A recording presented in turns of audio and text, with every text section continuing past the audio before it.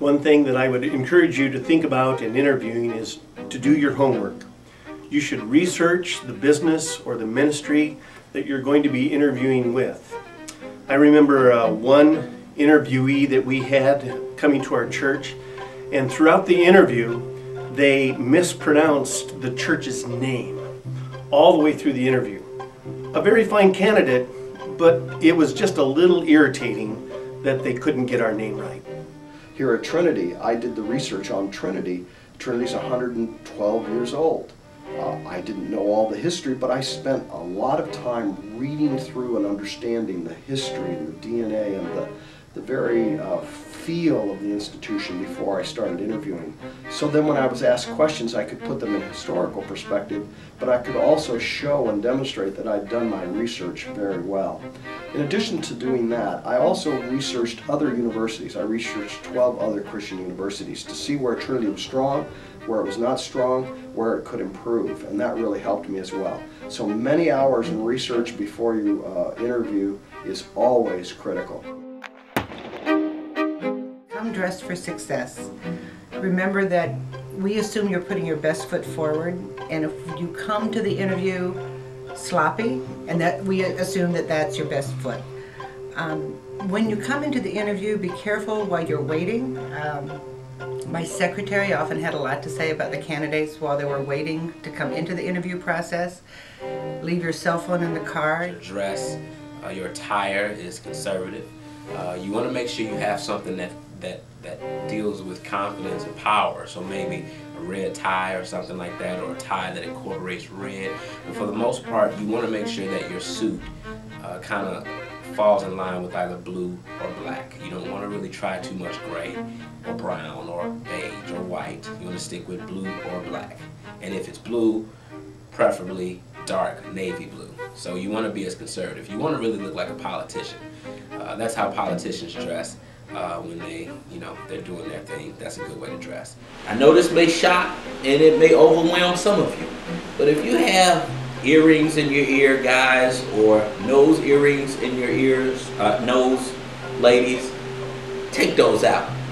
Um, there will be a time at some point when you understand and recognize the culture, and if that's permittable to bring and to have as a part of that culture, bring it. But for your interview, I would leave those items at home. Okay, so what I've learned about interviewing. Um, when you're interviewing, of course there's all the basic stuff. You should smile, you should um, be confident, you should uh, be yourself, and be relaxed.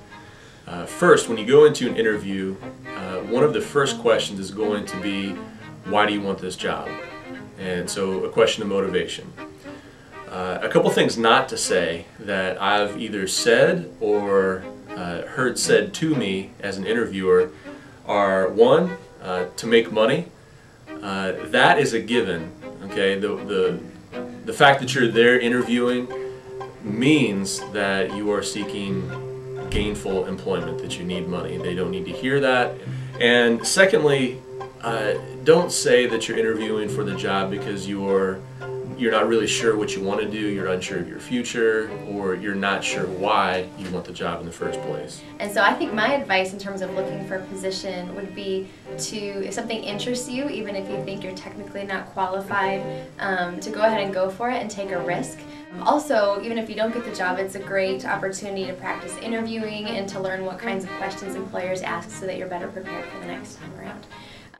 I know when I used to be a hiring manager, people I'd say, tell me a time when you really had to deal with a frustrating person. And then I'd let them talk about what that person was. And my follow-up question was always, what did you do to make it work? My encouragement to you is to be authentic and to represent yourself accurately throughout the interview process. I'm going through this interview process and I was actually called back for a second interview and everything is going well and they actually offer me the job. And we've been talking about a number of different skill sets that I have. But when it came time to offer me the job, I started to panic. I was afraid, oh my goodness, do they think I actually know something about computers or about accounting software? And so I just said, um, just so we're clear, before I accept this job, I know absolutely nothing about computers. nothing about technology and nothing about accounting software. And their response to me was, we know, Anne, we're not hiring you for those skills. We're hiring you for other ones. Go ahead and done? Do I introduce myself or anything? Yeah, sure. Okay. Might as well. I can cut it out if we need to. Yeah. Hi, I'm Greg Leeper. Yeah, let's start again. You're just gonna keep it rolling, huh? Okay. Yep. Maybe this can be in the outtakes, the outtakes version. Uh, stop, start all over.